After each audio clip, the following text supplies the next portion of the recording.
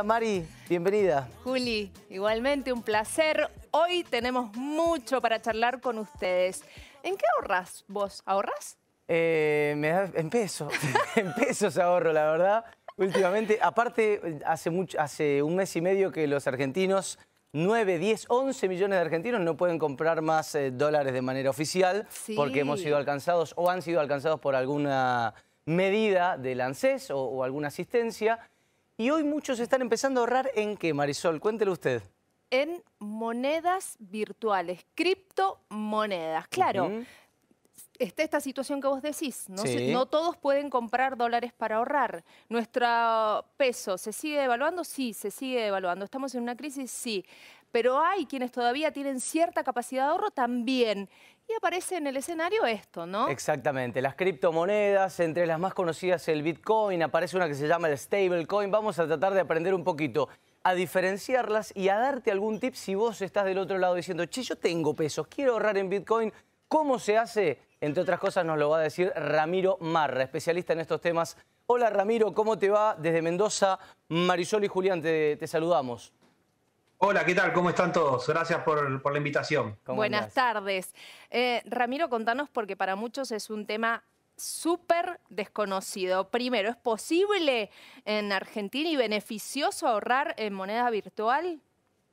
Bueno, en Argentina todo es beneficioso si lo comparamos con el peso. Claro. El problema que tenemos en Argentina es que tenemos una moneda totalmente devaluada, que lo que empieza a pasar cuando te pasa esto es que buscas cualquier tipo de alternativa y es ahí cuando las criptomonedas pasan a estar en la boca de todos. Porque todos quieren saber, a ver, ¿qué hago con mis ahorros en pesos? A nosotros nos ingresa plata en pesos. Ahora, tenemos la posibilidad de ahorrarla y decimos, bueno, no quiero tener pesos eh, en la cuenta bancaria. Entonces, las criptomonedas es en donde se empiezan a, a posicionar y estamos ahora hablando de este tema por, por algo natural de, de- de nuestra situación económica. Claro. Claro, en realidad con la situación de inflación que tiene la Argentina, casi que tener pesos es lo contrario a ahorrar. Con respeto lo digo, es, es, es perder poder adquisitivo a, a cada minuto y a cada día que pasa. Ahora, ¿qué son las criptomonedas? Estoy seguro de que hay un montón de gente que dice, ok, pero ¿de qué estamos hablando? Bueno, primero hay, hay- hay que hay que aclarar que las criptomonedas son monedas que no están reguladas por ningún banco central. Que es, es diferente a las monedas, es diferente a las monedas digitales. Que las monedas digitales pueden ser reguladas, que empieza a pasar también en otras partes del mundo, que son monedas que no tienen papel en efectivo, pero sí que están reguladas por bancos centrales. Sí. La criptomoneda más conocida es el Bitcoin, que fue la primera, y lo que hace es tener una tecnología muy interesante que se llama el blockchain, que cada vez vamos a escuchar hablar más de esta, de esta tecnología. ¿Que ¿Qué es? Que cada vez que vos le pasás esta moneda digital a otra persona, cambia el número, por decir una manera. Bien. Yo tengo, por ejemplo, un billete digital que dice que este billete va, es el número 15 millones, te lo paso a vos y automáticamente deja de ser el billete número 15 millones y pasa a ser el 15 millones 1. Claro. Entonces el traqueo es mucho la trazabilidad, saber de quién es cada cosa es mucho más fácil. Lo vamos a empezar a ver no solamente con las criptomonedas, sino con todo tipo de cosas. Si yo te doy esta virome a vos, ahora esta virome, si me la encuentro en la calle, no es de nadie. Pero con el- la tecnología blockchain, todos vamos a ver qué es de quién. Por eso las criptomonedas tuvieron tanto éxito y por eso está- se habla tanto de las criptomonedas. Bien, ¿Qué eh, pasa? para que me confundí un toque. Hagamos un Perdón. mapita tipo conceptual. Si yo hablo de criptomoneda, estoy hablando de moneda digital, bitcoins, ¿entra den- dentro de ese concepto o no? Son Sí. cosas diferentes. Eh, entra dentro de ese concepto, lo que pasa es que se empieza, estoy, estoy adelantándoles algo que está viniendo en el mundo, que A ya ver. dentro de poco también seguramente va a estar en Argentina, que son criptomonedas, pero reguladas por los bancos centrales. Mm. Ajá. Ya está pasando en otros países, ya se están haciendo muchos experimentos y viene muy acelerado el tema. ¿Y, y Digamos cómo, que desaparezca el efectivo. Claro, eso e- era una de las preguntas que quería hacerte. ¿Vamos camino en el mundo a que desaparezca el, el billete físico, la plata física? Y si es así, ¿cuándo crees que va a ser el, el momento? Vamos a- en vías de eso y va a ser más pronto de lo que pensamos. O sea, esto como todo en la tecnología, cuando entra, entra con todo. Bien, Entonces, tenemos que ir preparándonos, es, es importante este tipo de charlas, porque tenemos que ir preparándonos para asumirlo, para asimilarlo más rápido. Totalmente. Perfecto. Ahora, vos decís, decís algo, perdón, Rami, que es muy importante. Van a empezar a aparecer las criptomonedas, pero reguladas por, Por los los bancos bancos. centrales. va, va a generar menos demanda a priori, porque yo si, si compro un Bitcoin, que no es nada barato, eh, está atado al dólar y está atado a un valor que es bastante fuerte y bastante inamovible, y en todo caso se va para arriba si cambia. Ahora, regulada por bancos centrales, como en la Argentina, ¿genera un poquito más de resquemor, de desconfianza o no? Sí, porque estamos justamente en Argentina que la, nuestra moneda no funciona. Mm, O sea, es bastante particular lo que pasa en Argentina. En el resto de los países no pasa lo mismo. Claro. O sea, pero puede ser que como nuestra moneda no está funcionando, capaz la moneda digital, el e-peso, por ponerle un nombre, sí. llegue mucho más rápido también. Ajá. Porque la gente está buscando otra alternativa y el Banco Central necesita empezar a brindar otro tipo de alternativa. Bien. A ver, eh, imaginemos una situación. Eh, he tenido una capacidad de ahorro y quiero invertir, quiero meterme en esto. Primero, ¿de qué ahorro tengo que eh, hablar para poder empezar y cuáles son los pasos a seguir? Bueno, eh, para, empezar, o sea, el, el tema de las criptomonedas es siempre para gente que está muy avanzada en todo lo que tiene que ver con inversiones. ¿Por qué? Porque tienen mucho cambio de precio. Por ejemplo, hoy la criptomoneda, el Bitcoin, está a 15 mil dólares, pero Mm. hace unos meses estaba 10 mil dólares. Claro. Ganaste mucho, pero como ganaste también lo puedes perder. Ah, bien. Tiene mucha volatilidad, mucho cambio de precio.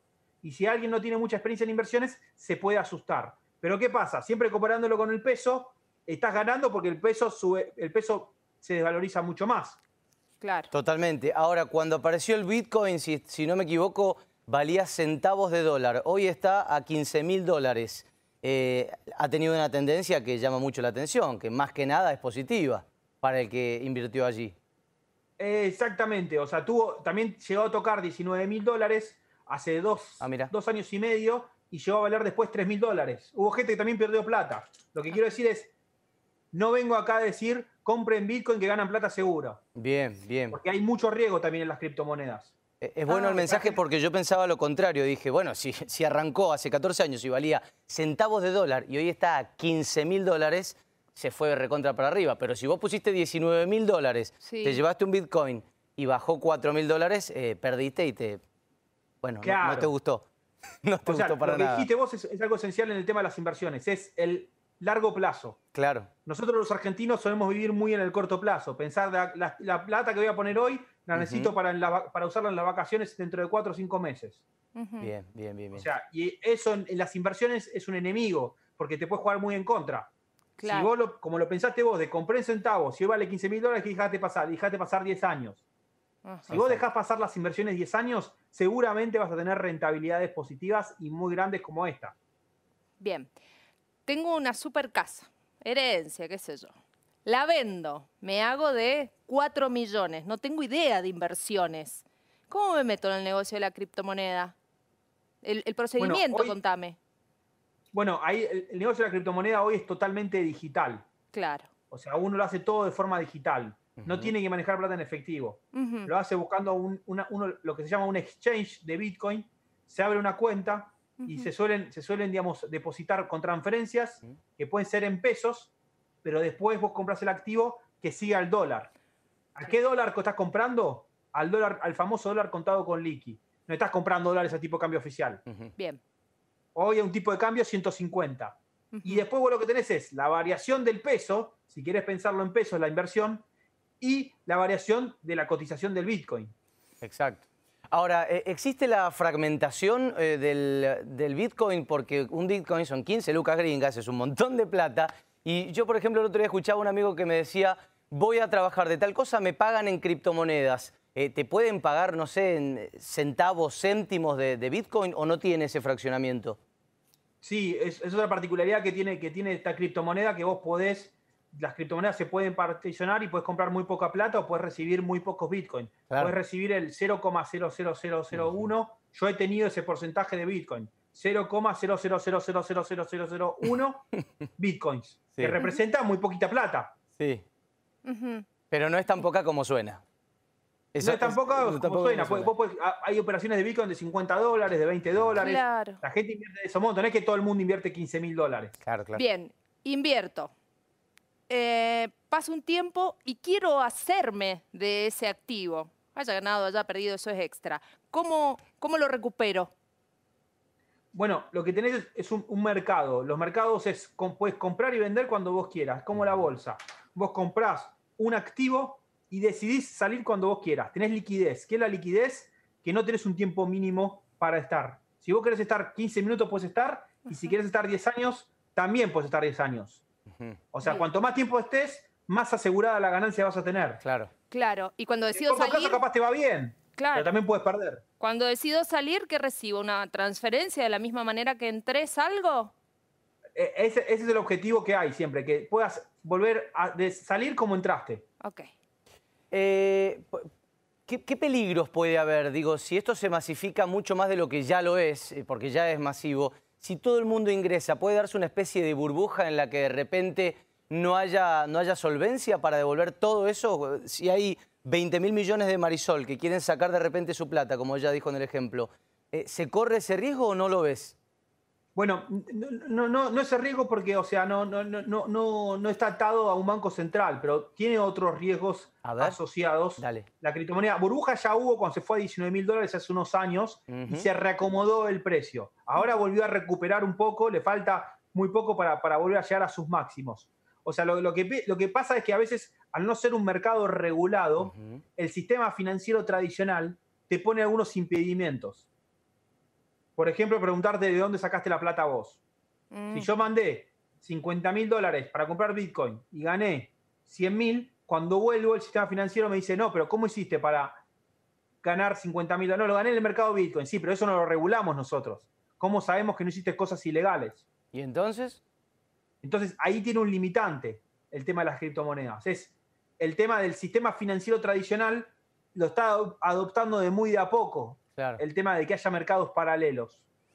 Esto de, que se suele decir, la tecnología va mucho más rápido que nosotros, va más rápido que nuestras instituciones, más que nuestras instituciones que regulan la economía. O sea, yo me puedo ganar 200 mil dólares con los bitcoins y a la hora de transformarlos en, en mi patrimonio líquido el Banco Central me puede decir, para, para, para, ¿de dónde sacaste toda esta plata? Exactamente, más que nada por temas de lavado de dinero. Claro, sí, por supuesto. Pero bueno, yo la hice lícitamente, compré bitcoins y me fue bien. Pero en un mercado desregulado, entonces genera una distorsión que todavía no está clara. Y también después lo otro que pasa, que a veces, si vos estas criptomonedas las tenés puestas en un mercado de un exchange que no está, que no está consolidado, puede haber un problema de quiebra de la empresa donde lo tengas. Bien, Perfecto. Ramiro, veo que nos falta un camino de aprendizaje en esta materia, pero nos has ayudado eh, bastante en este comienzo, mucho, así que te lo agradecemos. Gracias a ustedes y bueno, bienvenidos a este mundo y que cada vez se sume más gente, que es el futuro este, tenemos que vivirlo. Tenemos que vivir y tenemos que aprender. Yo me imagino un montón de gente que dice, bueno, lo voy a empezar a averiguar, capaz que con lo que tengo, mis ahorros, o, quiero hacer una inversión, me sumo a las criptomonedas. Rami, gracias, ¿eh? un abrazo gigante. Muchas gracias a ustedes, saludos. Hasta luego.